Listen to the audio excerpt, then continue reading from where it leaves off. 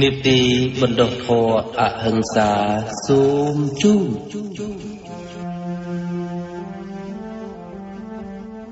រឿងអសូភិក្ខុពនេចរ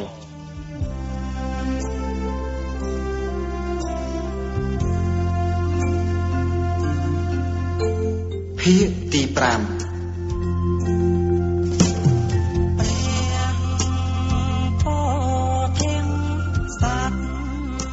និពន្ធជាសៀវភៅប្រឡងលោក ដោយសាស្ត្រាចារ្យភាសាខ្មែរអោមណាគ្រីសម្រួលដឹកនាំសម្ដែងជាលខោសំឡេងវិភាគបរិយាកាស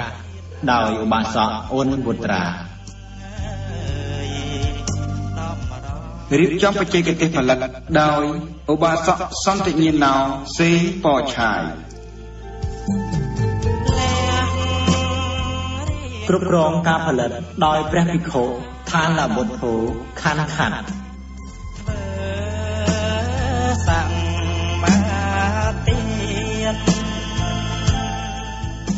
សមាជភាពតួអង្គសម្ដែងមាន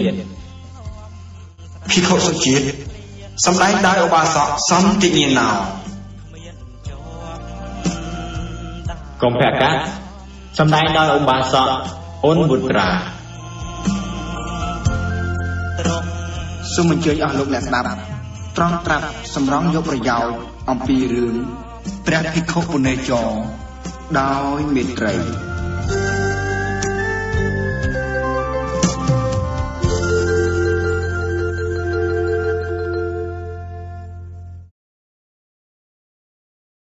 អហង្សាធម៌អ្នកស្ដាប់ទាំងឡាយ រហូតវេលា3ខែដែលនៅស្រុកកោកីឡាក្រៀមខ្ញុំបានជួបប្រទះនឹងហេតុការណ៍ជាច្រើនសូម្បីជាភូមិស្រុកតូចប្រកបដោយគ្រួសារមិនច្រើនជាងចំនួន100តែពេញទៅដោយមនុស្សប្រើគំនិត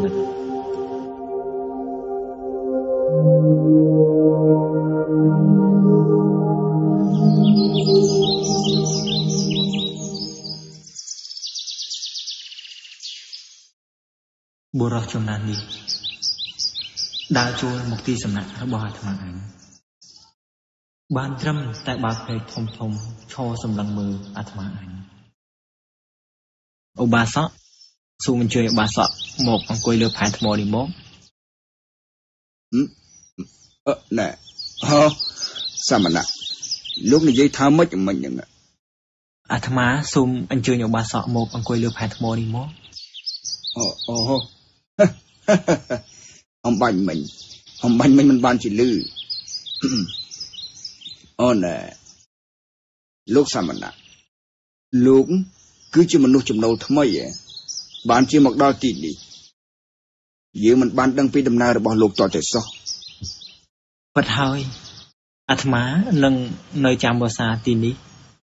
ក្នុងរយៈពេល3ខែនារដូវវស្សានេះ បន្ទាប់ពីនោះទើបអាត្មារាជអង្គត់បន្តដំណើរតទៅមុខទៀតណាបាសតមើលទៅសមណៈកំឡុះនេះមានអាយុមិនខុសពីកូនអញក្មួយអញប៉ុន្មានទេប៉ុន្តែទំនងជាមនុស្សមានប្រាជ្ញាឆ្លៀសវៃខ្លាំងតាមមើលតើតែអញ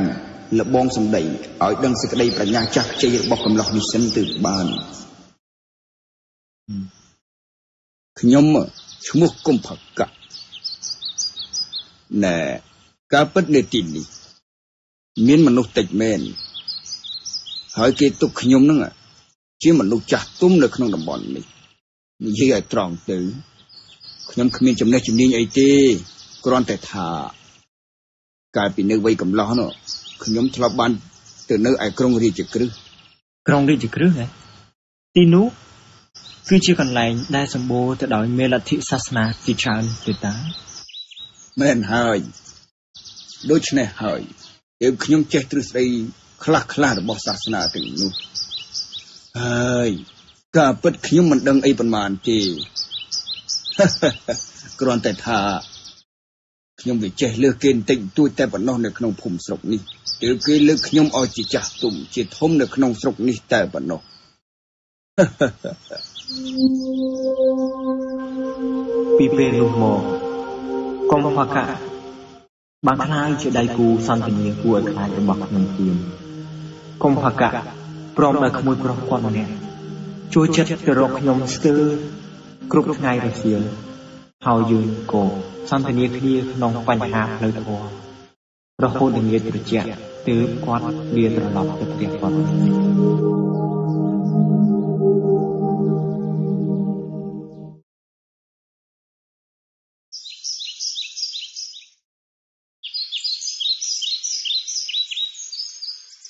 អូឧបាសកអញ្ជើញមកដល់ហើយសូមអញ្ជើញរកកន្លែងសំគួររសៀលណាស់ទៅហើយ ជាធម្មតាណាតាំងពីលោកសមណៈឯងមកដល់ទីនេះខ្ញុំហាក់ដូចជាញៀននឹងការសន្ទនាខ្លាំងណាស់អឺថ្ងៃនេះខ្ញុំបាននាំមកនៅស្កអំពើមកប្រគិនលោកផងណាណែកន្លះខែកន្លងទៅហើយ ដែលខ្ញុំតែងតែមកសន្ទនាជាមួយនឹងលោកសមណៈរៀងរាល់ពេលរសៀលនេះ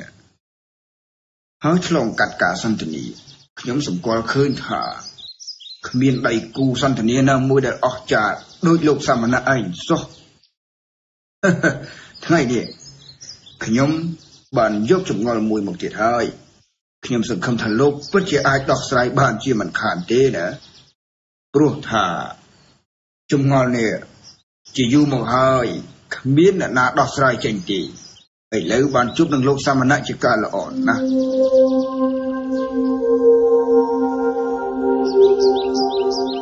ព្រះគុណម្ចាស់តើការសម្លាប់សត្វបាបដែរឬទេហេតុអ្វីក៏គាត់សួរសំណួរងាយងាយបែបនេះមកដល់អាត្មាអញការសម្លាប់សត្វនរណានរណាក៏រមែងឃើញថាជាបាបទាំងអស់តែ ជួនកាលអាចជារំដៅធ្លាក់សម្រាប់តាក់ឲ្យអាត្មាអញធ្លាក់ក៏អាចថាបានព្រោះកុំផកនេះវាងវៃណាស់មនុស្សក្នុងភូមិស្រុកមិនមាននរណាហ៊ានជជែកយកឈ្នះគាត់បានឡើយណាស់មានតែឆ្លើយតាមគោលធម៌ពិតប្រកបទៅចោះការសម្លាប់សត្វជាអំពើបាបយ៉ាងពិតប្រកបមែនសន្មតថាយើង មិនបានចូលដៃសម្រាប់ខ្លួនឯងទេតែប្រើឲ្យអ្នកដទៃសម្លាប់តើបាបឬទេ គឺបាបដូចគ្នាសន្មតថាយើងមិនបានសម្លាប់ខ្លួនឯងទាំងតែមិនបានឲ្យនរណាសម្លាប់តែយើងធ្វើការខ្លះដែលជាអំពើទំនុកបំរុងឲ្យគេសម្លាប់សត្វជាផ្លូវអបយ៉ាងនេះតើបាបឬទេប្រកាសជាបាបដូចគ្នាបើយ៉ាងនោះ លោកម្ចាស់ក៏ធ្វើបាបរាល់ថ្ងៃនោះឯងអាត្មាធ្វើបាបយ៉ាងម៉េចក៏លោកជាអ្នកបរិភោគសាច់សត្វរាល់ថ្ងៃនេះឯងការបរិភោគសាច់សត្វជាបាបផងឬគឺពិតជាបាបយ៉ាងពិតប្រាកដបាបយ៉ាងណាអធិប្បាយឲ្យអាត្មាស្ដាប់បន្តិចមើលអាត្មាបរិភោគសាច់សត្វមកយូរហើយតែមិនធ្លាប់គិតសោះឡើយថា ជាអំពើបាប លោកម្ចាស់ក៏ព្រមរ៉ាប់រងហើយមិនមែនឬថាការសម្លាប់សត្វដោយខ្លួនឯងក្តីប្រហែលឲ្យគេសម្លាប់ក្តីក៏សុទ្ធតែបាបការបរិភោគសាច់សត្វនេះគឺជាការទំនុកបំរុងឲ្យគេសម្លាប់សត្វយ៉ាងពិតប្រាកដអាត្មានៅមើលមិនឃើញសោះឡើយថា ជាការជួយទំនុកបំរុងគេឲ្យសម្លាប់ក៏លោកម្ចាស់មិនគិតទេឬថា ព្រោះមានការស៊ីទើបមានការសម្លាប់ព្រោះលោកឆាន់សាច់ទើបគេសម្លាប់បើគ្មានអ្នកស៊ីក៏គ្មានអ្នកសម្លាប់ដែរ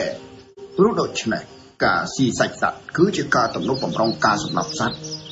ដូច្នេះហើយលោកម្ចាស់ដែលឆាន់សាច់សត្វក៏ឈ្មោះថាធ្វើបាបដែរ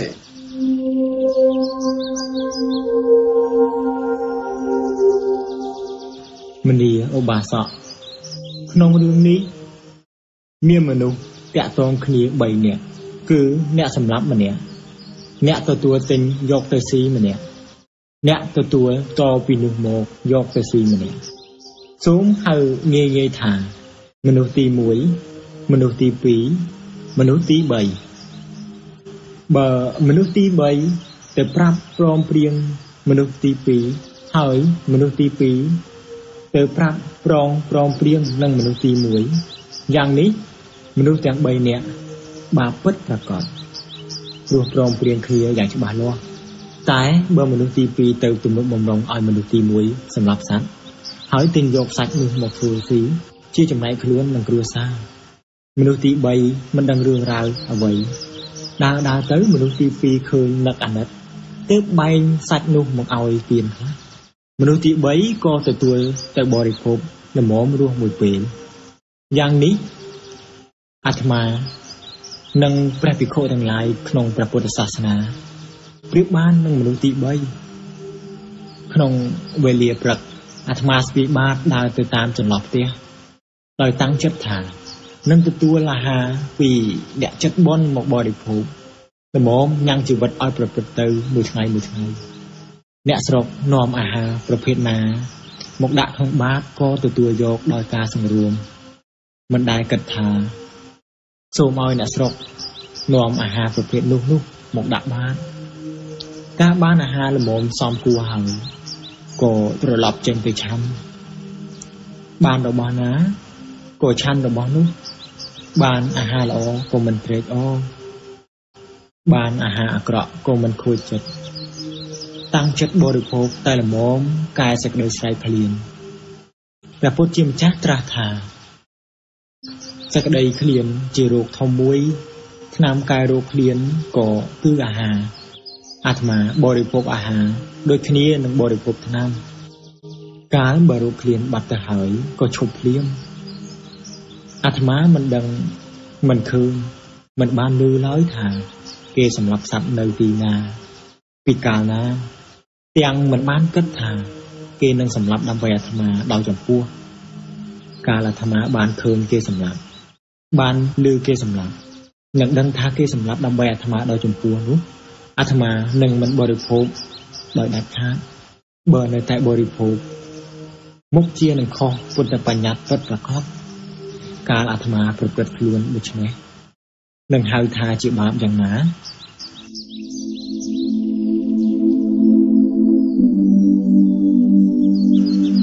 ហើយចុះសំបីលោកម្ចាស់មិនកាត់ទុននឹងបាប ព្រោះមិនបានធ្វើបាបដោយកាយដោយវិចារចិត្តដោយត្រង់ត្រង់ក៏ដោយលោកម្ចាស់ក៏ត្រូវឈ្មោះថាបាបក្នុងការបរិភោគនឹងរបស់ដែលមិនបរិសុទ្ធតើមិនបរិសុទ្ធយ៉ាងម៉េចសន្មតថាបរោះម្នាក់ទៅលន់ម្ចាស់ទ្រព្យយករបស់គឺមកប្រគេនលោកម្ចាស់លោកម្ចាស់ក៏ដឹងថារបស់នោះគឺបានមកពីការប្លន់មិនបរិសុទ្ធតែលោកម្ចាស់នៅតែទទួលរបស់ដែលមិនបរិសុទ្ធយ៉ាងនេះ ឈ្មោះថាលោកប្រតិបត្តិប្រពៃហើយឬលោកម្ចាស់លោកម្ចាស់នឹងរួចចាបាបឬបើដឹងថារបស់នោះគឺប្លន់សម្រាប់ម្ចាស់ទ្រព្យនាំយកមកឲ្យហើយនៅតែទទួលដោយចិត្តត្រេកអរក៏មិនរួចពីបាបដែរព្រោះថាវាប៉ុនគ្នានឹងការជួយទំនុកបំរុងចរកម្មត្រេកអរក្នុងបាបកម្មនោះបើយ៉ាងនោះកាលបើលោកម្ចាស់បរិភោគសាច់សត្វ ក៏បាបដែរព្រោះថាជារបស់មិនបរិសុទ្ធជារបស់បានមកពីការប្លន់សម្រាប់ជីវិតរាងកាយនៃជីវិតសត្វដទៃមិនមានសត្វណាព្រមប្រគល់សរីរៈរាងកាយឲ្យទៅមនុស្សញីញីនោះទេកាលបើមនុស្សទៅសម្លាប់វាបានវាខំតស៊ូឬបំរើរហូតអស់សមត្ថភាពកាលទ្រាំនឹងកម្លាំងរបស់មនុស្សមិនបានទើបរងស្លាប់ដោយកំហឹងដោយគំនុំព្យាបាទចងអាឃាតប្រចាំចិត្តយ៉ាងខ្លាំងក្លា ព្រោះដូច្នេះហើយសាច់សត្វគ្រប់ប្រភេទដែលលោកបរិភោគទើបឈ្មោះថា បានមកដោយការប្លន់នោះអីវាជារបស់មិនបរិសុទ្ធបើលោកម្ចាស់ឆាន់របស់មិនបរិសុទ្ធដូច្នេះនឹងមិនឈ្មោះថាបាបដោយម្ដេចនឹងកើត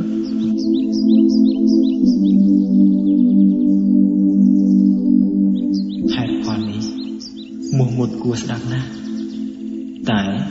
បើមិនធ្លាប់គិតពីមុនមក ក៏អាចនឹងតច្រកចំពោះហេតុផលរបស់គាត់នេះបាន តែបញ្ហាដូចនេះជាទីច្បាស់លាស់ចំពោះអាត្មាអញយូរមកហើយ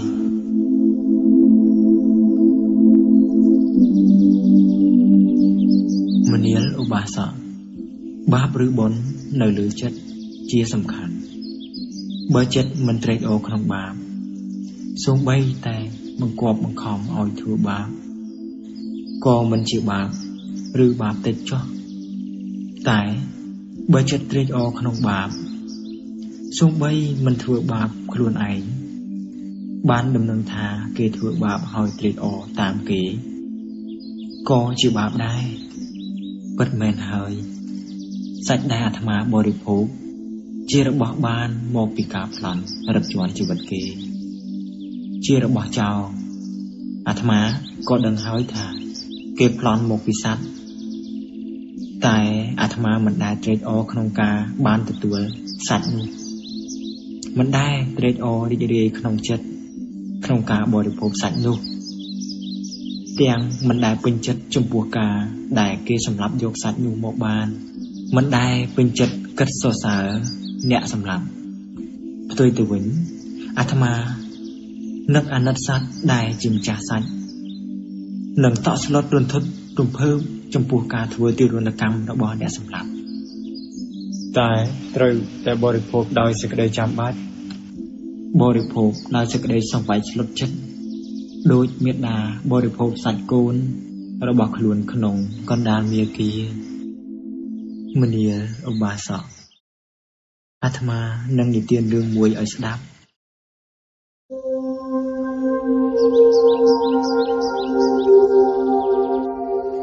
ក្នុងអតីតកាល មានប្តីប្រពន្ធពីរនាក់ធ្វើដំណើរឆ្លងកាត់សមុទ្រខ្សាច់ច្រើនថ្ងៃកន្លងផុតទៅក៏មិនមានផ្លូវនឹងឆ្លងផុតសមុទ្រខ្សាច់សោះស្បៀងអាហារក៏អស់រលីងសេចក្តីស្រែកឃ្លានព្រោះគ្មានអាហារចូលពោះបានគ្របសង្កត់ធ្វើឲ្យបុរសជាបិតាគិតនឹងសម្លាប់កូនរបស់ខ្លួនស៊ីកាលពិគ្រោះពិភាក្សានឹងភរិយា ភរិយាក៏ជំទាស់យ៉ាងមើងម៉ាត់ព្រោះមេដាចិត្តទុនអាណិតកូន មិនហ៊ានធ្វើដូច្នោះសូម្បីខ្លួនត្រូវស្លាប់ក៏ដោយចុះតែគុំលៀនមិនអាចធ្វើឲ្យស្វាមីអត់ធន់តស៊ូទៀតបាន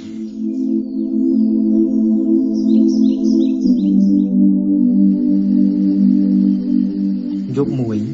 កាលភរិយាដេកលងលក់ហើយ បុរសប្តីបានសម្លាប់កូនតូច អាសាច់ទុក កាលភរិយាភ្ញាក់ឡើងនឹងឃើញសាច់យ៉ាងច្រើនក៏តក់ស្លុតរន្ធត់ចិត្តមើលទៅជុំវិញខ្លួន មិនឃើញកូនឃើញតែសមុទ្រខ្សាច់ដាច់កន្ទុយភ្នែកនាងក៏នឹកឃើញភ្លាមថា ស្វាមីបានសម្លាប់កូនតូចទៅហើយនាងក៏ទៅជាខ្យល់ដួលសន្លប់ភ្លាម កាលភ្ញាក់ឡើងក៏យំរៀបរាប់ដល់កូនស្ទើរដាច់ខ្យល់ស្លាប់ដំបូងនឹងមិនព្រមប៉ះសាច់កូន ស្វាមីបរិភោគតែម្នាក់ឯងកាលត្រូវគំនានគ្របសង្កត់ខ្លាំងទើបព្រមស៊ីតែគ្រប់គ្រាដែលលើកសាច់កូនមកនឹងស៊ីនាងក៏យំរៀបរាប់បណ្ដា ដោយសេចក្តីស្រឡាញ់អាណិតអាល័យកូន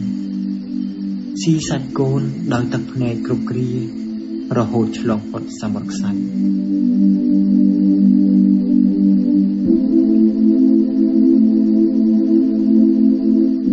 មនីឧបាសកក្នុងខណៈដែលបរិភោគសាច់អាត្មាបណ្ដោះការដឹងឲ្យកើតឡើងដូចគ្នានឹងការដឹងរបស់ម្ដាយដែលស៊ីសាច់កូនក្នុងសមុទ្រខ្សាច់នោះបរិភោគដោយក្តី អាណិតសង្វេគបរិភោគដោយសេចក្តីចាំបាច់ខានមិនបានពិតពិតកាលបើដូច្នេះចិត្តរបស់អាត្មាក៏មិនត្រេកអរក្នុងបាបសំបីតូចមួយតើឲ្យអាត្មាទទួលបាបយ៉ាងម៉េច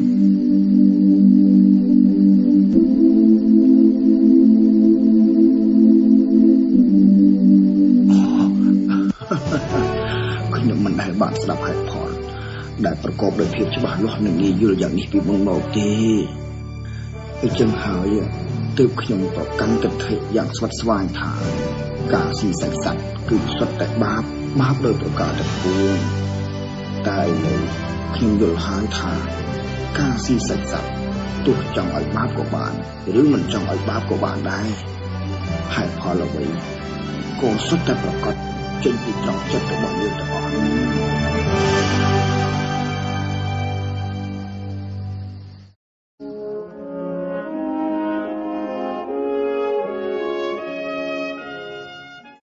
បន្ទាប់ពីកិច្ចសន្ទនានេះហើយ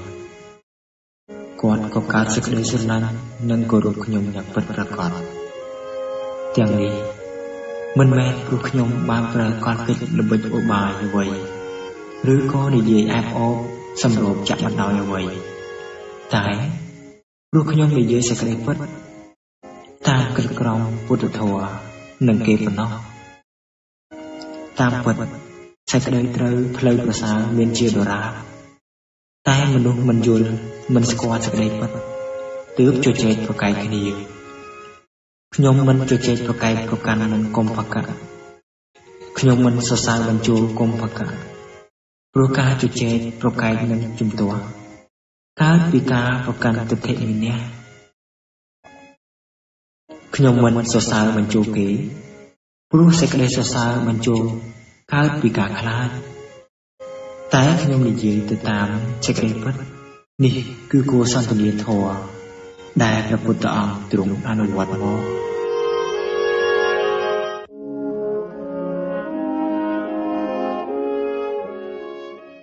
ចាប់តាំងពីពេលនោះមកកុំភកៈបុរសជរាអ្នកនាំផ្លូវចិត្តរបស់អ្នកស្រុកកោកេឡាក្រៀមក៏បែរមកគោរពគប់រកខ្ញុំដោយសុទ្ធចិត្ត